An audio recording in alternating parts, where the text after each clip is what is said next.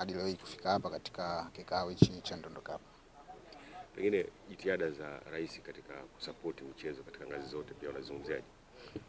Ndio maana nimesema mwanzo kwamba ni swala kubwa sana ambalo yeye kaweza kulifanya, kwa sababu ukiangalia hata katika timu ambazo zilikuwa zinashiriki mashindano ya kimataifa kama Simba na Yanga zimeweza kufika hapo walipofika, kwa tuseme kwa nani, nasema kwa juhudi zake mwenyewe, ndio maana wameweza kufika pale. Sasa una timu katika michuano hii, pengine timu yako imejiandaaje, na tuambie umepanga kuja kufanya nini? Ah, kwa timu yangu ya, ya Enjoy Soka kwa kweli tuko vizuri na vijana walikuwa wanafanya mazoezi takribani miezi mitatu, wako pamoja kwa sababu ni kituo na tupo katika mashindano haya, tutafanya vizuri na imani. Mashindano haya uh, ni kama alichelewa kuanza kwa msimu huu uh, kutokana na sababu mbalimbali, pengine yanatija gani hasa kwa faida ya vijana kama ambao wako chini yako? Ah, Kwanza faida itakuwa ni kubwa kwa sababu ni vijana ambao wanatamani kutoka kwenda katika vilabu vikubwa ambao vinaweza kushiriki katika ligi yetu ya Tanzania. Kwa ni nafasi yao kubwa sana, kwa sababu ligi sasa itakuwa imeisha. Kwa watu wa ambao wapo katika ligi kuu, makocha, viongozi watakuwa wanaweza kushuhudia katika mashindano ya Ndondo Cup. Kwa ni fursa ya mtu kuweza kutoka. Tusema vijana wako chini yako, pengine unawaona mastaa kama ulivyofanya wewe katika soka la Tanzania? Wapo vizuri kwa sababu hata baadhi yao wachezaji wanne ambao walikuwa stendi na wameweza kuipandisha stendi. Kwa hiyo kuna wachezaji wazuri. Kwa hiyo mtu yote katika kuja kukutana nje Soka hataona kwamba wapo vipi. Na kupitia michuano hii unawaweka sokoni vijana wako. Yes, wako sokoni mpaka sasa. Hata kabla ya Nondo Cup pia walikuwa sokoni, lakini mashindano haya ni, ni makubwa. Tanzania pia wameweka macho yao yote katika Ndondo Cup ili kuweza kuchukua vijana. Kwa hiyo ni fursa kwa vijana wangu kuweza kutoka. Morali ikoje kwa vijana wako sasa, namna mmoja mmoja anavyozungumzia kuelekea michezo hii? Ah, morali ukweli ipo ipo kubwa sana, kwa sababu wengi wanatoka mbali wanakuja, lakini mazoezini kwao ni jambo ambalo kwamba kila mtu anaweza kuliweka katika kipaumbele katika maisha yake.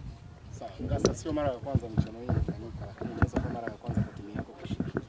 Ugeni inaweza kuwa changamoto kwa namna fulani kwenye kikosi chako.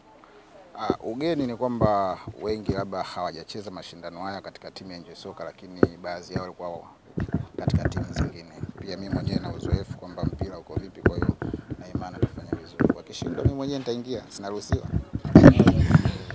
Baadhi ya vijana wengi hawako sehemu moja kama ambavyo timu yako inaingia kwenye michuano hii. Iko miezi mitatu sehemu moja anafanya mazoezi, pengine inaweza kuongeza ushindani kwenye michuano hii ya Ndondo Cup msimu huu. Uh, ushindani lazima uwepo kwa sababu kila mtu anajitambua na kila mtu anajua umuhimu wa haya mashindano. Kwa hiyo kaacha familia yake nyumbani kuja kupambania nje Soka na yeye mwenyewe katika maisha yake binafsi ya baadaye. Watanzania wengi wanafahamu namna ambavyo ulivyocheza soka na sasa hivi unaingia kwenye Ndondo Cup. Unawaambia nini? Nini ambacho utaonyesha kwa upande wako wa pili? Wataenjoy soka. Nini cha kumwambia sasa Rais wa Jamhuri ya Muungano wa Tanzania Daktari Samia Suluhu Hassan baada ya kuomba ama kuzungumzia Ndondo Cup, kitu gani ambacho mngependa muongezewe katika Ndondo Cup? Ah, katika Ndondo Cup mimi nadhani kwa sababu sijajua katika uongozi wa Clouds na Ndondo Cup pia, kwa sababu ndo Clouds yenyewe sijajua mipango yao, kwa hiyo siwezi Ninyi kama washiriki, nikimaanisha timu moja moja, Ah, pale labda changamoto hawezi kuweka labda wa- wadhamini wawe wengi katika Ndondo Cup. Ina maana ina maana wadhamini wakiwa wengi, na maana mambo mengine pia katika Ndondo Cup yatapungua. Ngasa, kuna baadhi ya timu zimekuwa zikitumia wachezaji ambao wanatoka Premier na sheria hapa zimetajwa, inaruhusiwa mchezaji ambaye hana mkataba na timu. Tunategemea kwenye Enjoy Soka pia tukapata baadhi ya wachezaji ambao walishacheza. Ah, Hapana, wachezaji wangu wengi wakicheza ligi kuu na hayupo ambaye amecheza ligi kuu, ni wale ambao wapo chini, maana sisi tunainua vipaji kutoka chini kwenda juu ili waweze kupata nafasi. Uh, mashindano ya Ndondo Cup yanakaribia kuanza. Uh, maandalizi ndio kama tunaona vikao vinaendelea hapa, lakini yanakuwa na umuhimu mkubwa sana hasa katika kukuza vipaji vya watoto. So far maandalizi yakoje na watu wa Ndondo Cup unawaambiaje? Cha kwanza kabisa uh, kama ulivyotanabaisha maandalizi unayaona una, unayaona eh, timu ambazo zitashiriki mwaka huu na unaona kwenye kikao pale na mratibu Mkazuzu, manake e, baada ya kikao hiki wanapewa briefing ya mashindano yatakavyokuwa, wanapewa ratiba kwa zile timu ambazo zitacheza mechi za awali ikiwepo timu ya Mlisho Ngasa. Wanaanzia awali kabisa huko chini kuanzia next week nafikiri, then timu kumi na sita zitakazofanikiwa zifuzu kuingia hatua ya makundi, na baada ya hapo ndo itapangwa draw ya group stage, ndo tunaanza sasa kucheza ile tournament kubwa ya 2023 mwaka wa kumi. Mheshimiwa Rais wa Jamhuri ya Muungano wa Tanzania Samia Hassan Suluhu amezungumza uwepo na matamanio yake kuona michuano hii mm. E, unalizungumziaje hilo na pengine unahakikishia vipi watu wataenjoy kama vile mama alivyokuwa na shauku ya kuona michuano hii? Uh, kama nilivyokuambia ah, mwaka huu ni, mwaka wa kumi, imefanyika miaka tisa, watu wamepata burudani. Uh, wachezaji wengi sana wameonekana, wengine wamekwenda mbali zaidi. Kwa hiyo tunachokifanya ni kupita mle mle tu. E, kwa maana ya kuhakikisha sisi kazi yetu ni kuorganize shindano lililokuwa zuri kwa kushirikiana na DRFA pamoja na vyama vya wilaya kuona mashindano yanafanyika kwa kiwango cha bora zaidi na participation iwe kubwa. Kumbuka wakati tunazungumzia kulaunch ni kuna activities tofauti tofauti, ukiachilia hii tournament ambayo ndio leo unaona hizi team, tuna mashindano ya watu wenye ulemavu.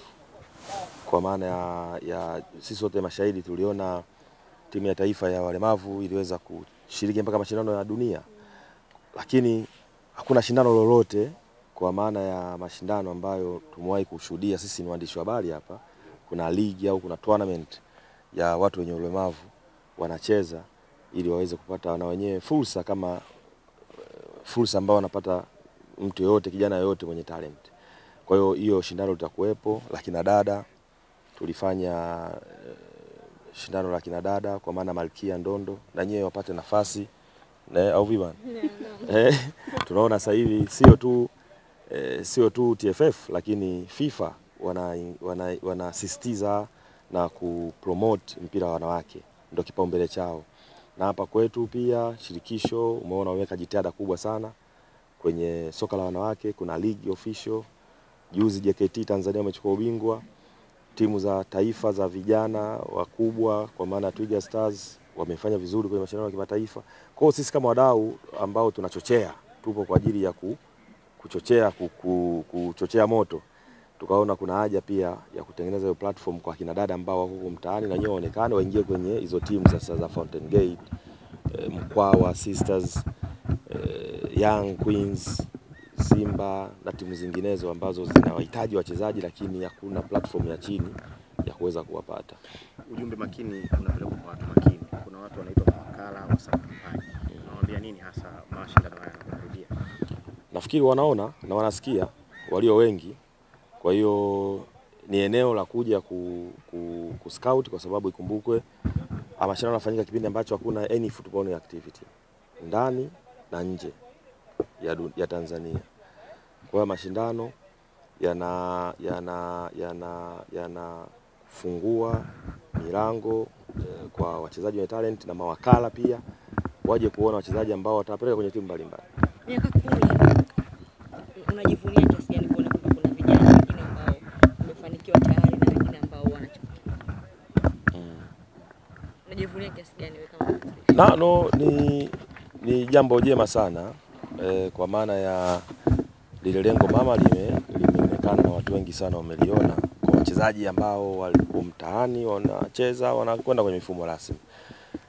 Nimekuwa nikizungumza kila kila siku kila mwaka kwamba sisi jukumu letu ni kutengeneza tu daraja then wanakuja wanacheza, wakipatikana wachezaji wakaendelea huko, sisi ndio inakuwa furaha yetu.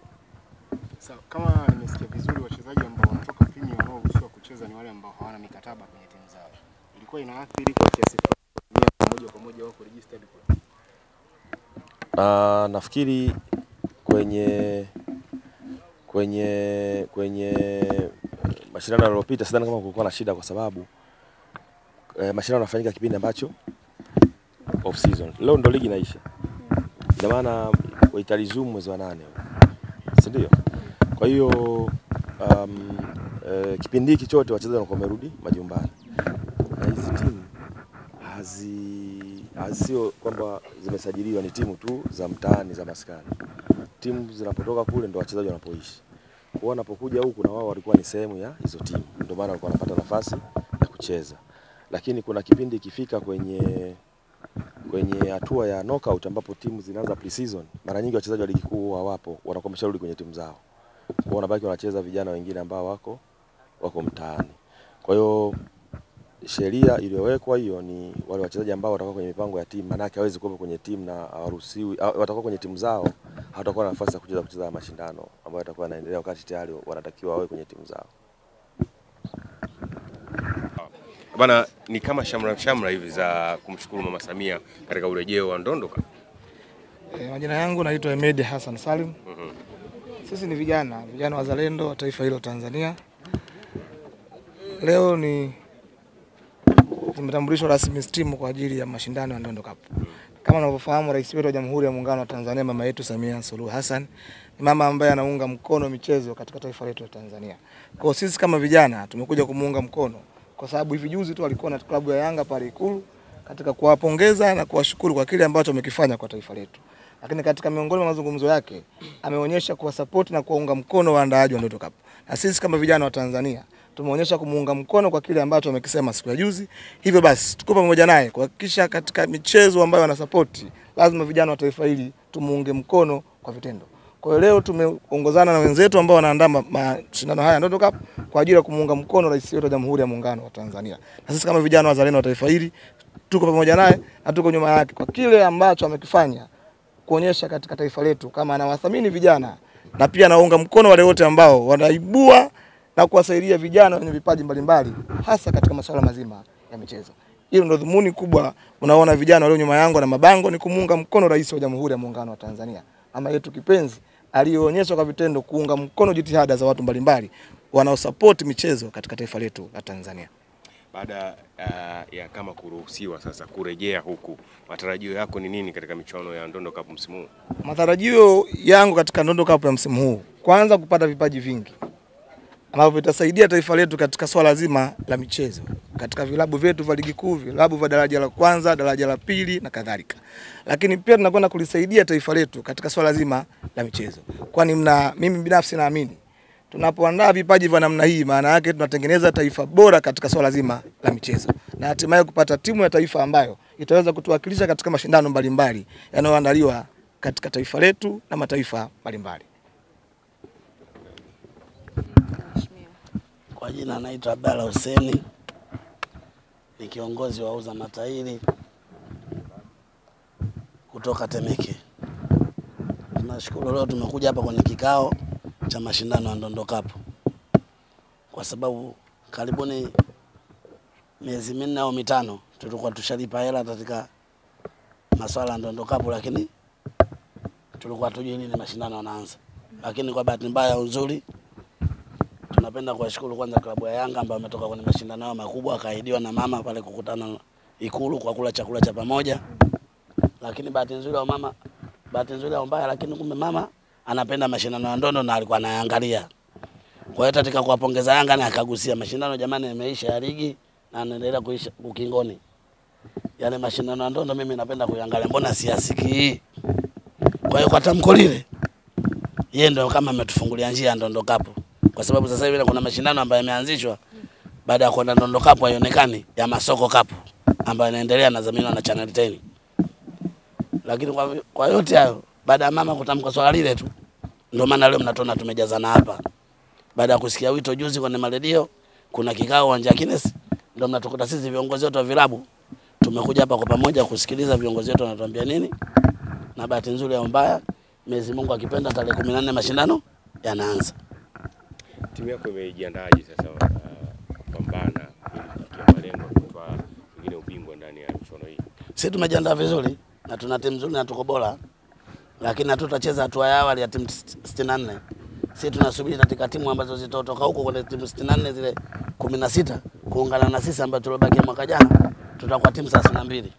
Kwa hiyo tutapofikia kwenye 32 ndo tutapanga mkakati mzuri wa kuangalia tunakwenda vipi kugombania hiyo ndoo, lakini sasa hivi hatupo kwenye hatua hii ya awali. Niulizeni swali hili kwenye 32 bora, ndo nitakupeni jibu. kwamba nitachukua ndoo au hatuchukui ndoo. Inaonekana mnawatisha sana wa- wapinzani wenu ambao wanaanzia hatua hizi za mwanzoni kabisa, hatua za awali. Nyinyi katika hatua za juu, hususan timu yako hii ya Ma- Matairi Temeke, vitu gani haswa ambavyo mmejipanga navyo kuhakikisha kwamba msimu huu Nondo Cup, Cup lazima iwe? Kwanza tuna timu bora, kwa sababu mimi kama kiongozi bado ninapita kwenye mashindano mbalimbali kuangalia wachezaji ambao wale wako bora, na sisi hatuaibi, kwa sababu mimi sisi unavyotuona tuna kituo ambacho cha wachezaji, ndio maana tumejiandaa. na Nakwambiaje, niulizeni swali hili kwenye thelathini na mbili bora. Kwa namna fulani mashindano ya msimu huu yamechelewa. Nyinyi kama mlivyotoa hela toka uh, awali, kuna namna fulani ambayo hamjajisikia vizuri au Sisi tulitegemea mashindano yatafanyika, lakini tulikuwa hatujui lini yatafanyika. Tulikuwa tuna hofu kubwa, lakini kwa tamko la mama na mwenyewe, kwa sababu mpenda michezo, ndio maana Nondo Cup inafanyika. Zungumza sasa na mashabiki wa timu yako ya Wauza Matairi kutoka Temeke. Mm. Mashabiki mpaka hivi sasa